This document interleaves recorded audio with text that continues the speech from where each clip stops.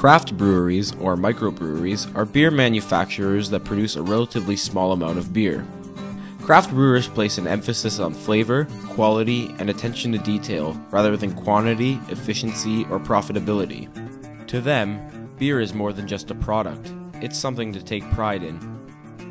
Ontario craft brewers, in particular, uh, have an opportunity to provide um, today's beer consumer with something that's a little bit more different, uh, has a little bit more taste, is uh, actually produced uh, with better quality and better ingredients. These brew masters, they, they take time, they put the energy and the effort into really producing a good product. It's not just about trying to mass produce a beer, it's about really trying to figure out a recipe and make an art out of brewing. They try to make different flavors, try new ideas, they try to use high quality ingredients and not cheap out. The larger breweries use uh, 30 to 50 percent what are called adjuncts, uh, but largely because they're cheaper. Uh, so typically corn or rice. You could also use sugar, uh, and uh, they also lighten the uh, the flavor, uh, the body, and the color of beer, and provide a longer shelf life because the protein levels are lower. You know that when you get a craft beer, you're getting a high quality product made by someone who's really dedicated to what they what they do and really has a passion for brewing. For many, their gateway into the craft beer industry stems from a passion for quality beer. Angus Hiltz, a University of Waterloo student, brews his own beer at his student home in Waterloo. Not only does it save him money, but it's also a satisfying creative process. Uh, I first got into craft beer with uh, brewing with my dad back home. Um, we, we just started to get into kind of beer tasting before we got into brewing, so we would get an idea of what sort of flavors there were out there and started to find that uh, the craft breweries offer uh, many different styles and many different flavors and within each style and flavor they, they tweak them depending on where you buy it from. So we started to try and taste different things, see what sort of things we could do at home when we brewed. Angus begins his brew by boiling water. He then adds grains to a bag and puts the bag in the water to steep. Throughout the brewing process, Angus takes notes for future reference. Next, Angus mixes dry malt extract in cool water. Dry malt extract is the sugar from the malted barley.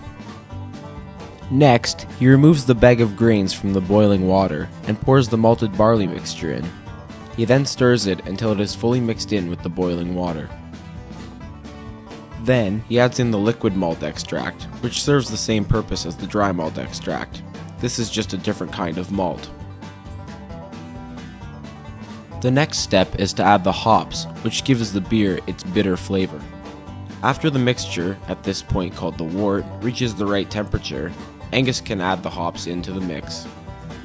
What you see here is the breaking of the proteins in the hops. Angus will add hops a couple more times throughout the boil to round off the beer's flavor. Next, it's time to let the wort cool down for a few hours.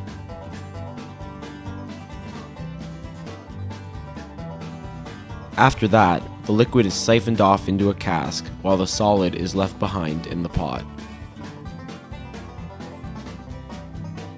He then gives it a shake for about 5 minutes to get the oxygen moving. Next, he pours in the yeast, which will convert the sugars into alcohol by a process called fermentation.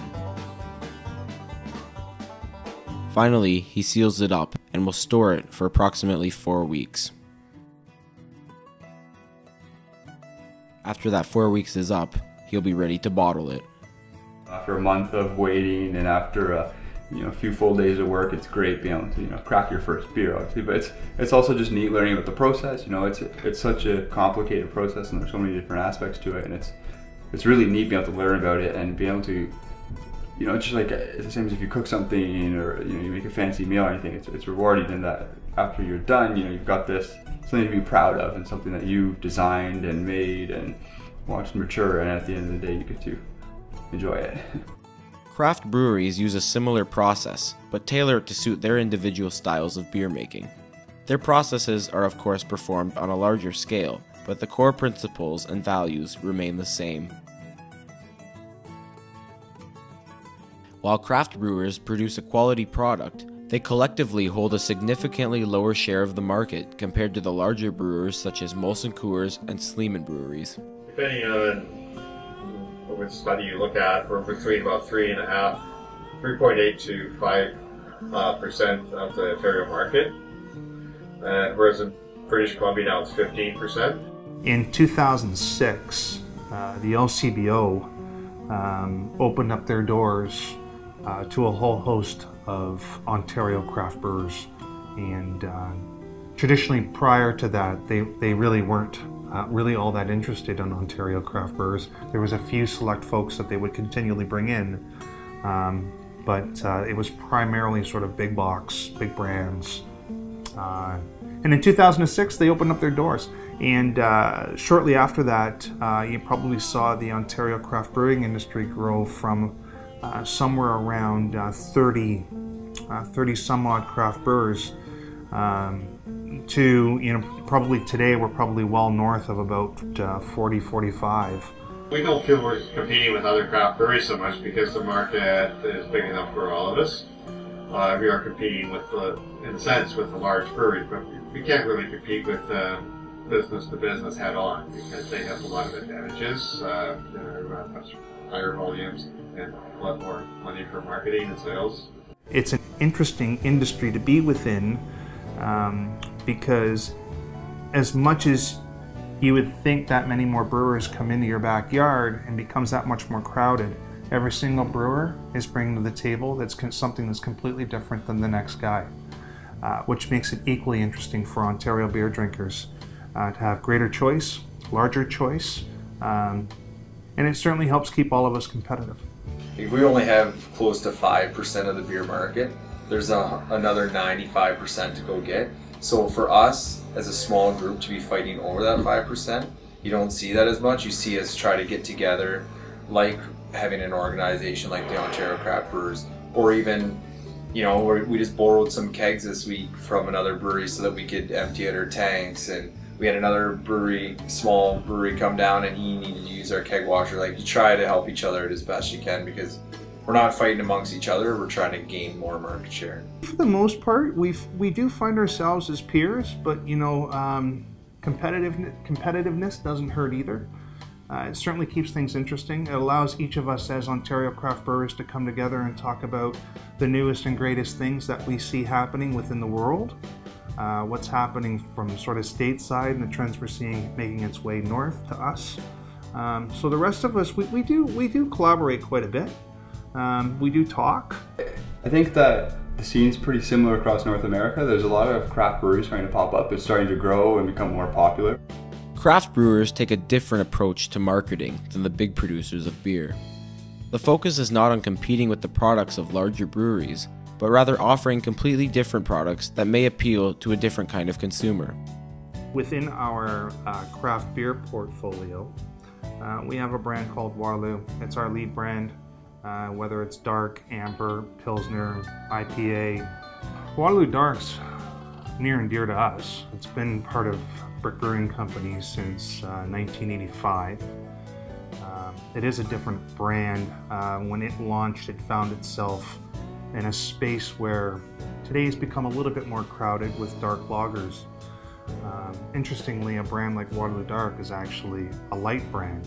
And when I say light, I say light with regards to not necessarily in alcohol, but in flavor. So today's brands that you'll see in dark ales, stouts, porters tend to be higher alcohol, tend to be stronger, more hop, more porter-like, more coffee-like. Uh, Waterloo Dark is a quite a unique brand because it's actually a dark lager that is 5% alcohol and surprisingly light. So it finds itself in a very uh, interesting space for us because it doesn't necessarily want to compete against, nor want to even be in the same arena as a brand like Coors Light, which is probably a big brand uh, as it, it is a big brand in, in, in, uh, in Canada. For many, the focus is less on marketing and advertising, but more so on letting a quality product speak for itself. The biggest thing I'm finding with branding and marketing in general is actually putting the product in someone's mouth. So a lot of the stuff came down to going to festivals all summer, we're always trying to sponsor different events so that we can actually let people try the product, invite them here to try the product. I think that's the biggest key is just getting them to try the product. The Ontario market will continue to expand through the devotion and passion for quality beer by the people who partake in it. I think the market in Ontario in 10 years will be 15%. However, at the end of the day, profitability is secondary to the love and dedication that craft brewers put into their work. You know, you don't need to just go buy the cheapest thing at the liquor store. There's there's other options out there. You can support locally, you can support high quality, and there there are options out there for everyone. I was just telling people the other day how it's interesting. I find myself speeding into work in the morning, and as being one of the owners, like I, there's no set time I need to be here. I just want to be here. There's always a ton of stuff. You need to have that passion, and you need to really love the products that you make and really want them to turn out to be good. Obviously, the beer in general, and seeing people's reaction and um, gaining fans is really, really one of the best parts about my job.